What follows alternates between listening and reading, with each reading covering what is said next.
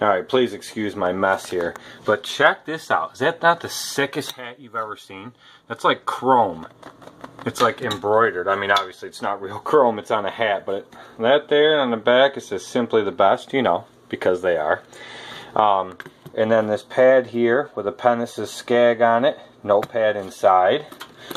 There is another, oh, you see that, Scag pen there and then a Scag beer koozie, Scag flashlight, a Scag to go coffee mug, which came with this letter in this box.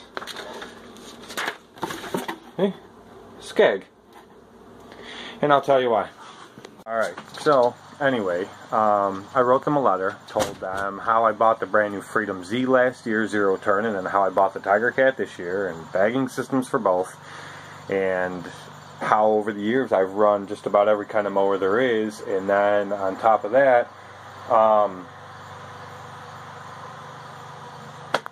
I keep going back to Scag no matter what I do, um, and I am 100% dedicated to them now. They are the mower for me, without a doubt.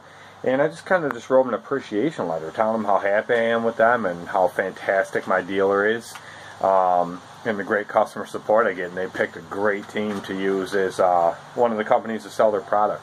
But just thanking them in general. Um, I didn't expect anything in return. I just wanted them to know from somebody in the industry that uses it all the time you know, this is the results I get, and this is what I think, and they sent me all that. I think that's pretty awesome. That uh, it just goes even further to explain the way they are and how they like to take care of their customers. So, A plus to them. So this bad girl is dirty. And the Freedom Z over there, yep, that's dirty too. They just, they've been working hard, so it is what it is. Anyway, I wanted to show you guys. So, I saw in the manual for this new mower, I'm going to try to show you guys this if you can see it. I don't know if you can really see in there. Well, you can see the part of it hanging down, which is this part right here. Okay, um, there's that part there, and then up there's the main part of the deck. Now there's bolts, and there's settings in here. I'm trying to show you. It's kind of hard to see this with this camera here like this. Um, but here we go. Okay, so in this in this right here, this is the baffle. There's two settings. There's this is B and the next one up is A. And then there's four holes. One, two, three, four. Okay? And there's seven different configuration setups you can set this to raise this whole baffle piece right here up and down. Alright, it goes if you can see, it's, it's really hard to show you guys what I mean, but it goes the whole length of the deck in front and it raises it up and down, how far the baffle sticks up or down. And like I said, seven different settings. Now, in the manual, it will tell you where to put that baffle depending on the type of cutting you're doing. I never really thought nothing of it, and for, I don't know, I've had this thing almost a month now. Um, I figured you know, not even a month. I've had about three weeks, maybe three weeks. Anyway, um, I figured, you know, I'll mess with it and I'll, I'll see what it's all about and see how much it can really change. Well, let me tell you something.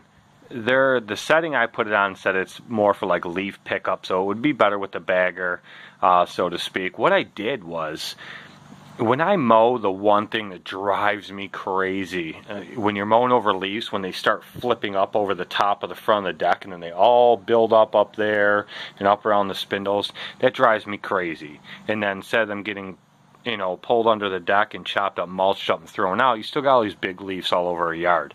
Um, and even when I'm running the bagger system with the blower on the side, it still flips a bunch up. It's called blowout um, and it drove me crazy. Well, just to mess around with it last night, I put that baffle all the way down in the lowest setting, uh, and I mowed with it today.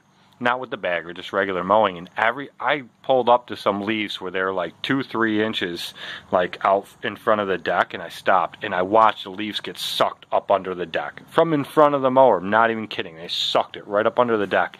Um, and even when I was cruising, a lot of times the faster you go, um, as you're coming up to them, it pushes them away off to the side or pushes them up over the front of the deck. Nope, it just kept sucking them right up under the deck. Pretty awesome. So it definitely eliminated that problem. and uh, it's pretty amazing. But what I'll do is, I'm going to close this up. What I'll do is I'll show you guys a picture, and it'll show exactly what I mean and what it, how it tells. It's a picture of the manual. It'll tell what the settings are, um, and you can read the little description in there. I'll try to make the picture as clear as possible. And it'll show what the settings are for the different types of grass you're cutting. But if you guys have that, I guess a lot of uh, manufacturers now, um, different mowers have that adjustable baffle in them like that. I've never seen it, but that's pretty sick.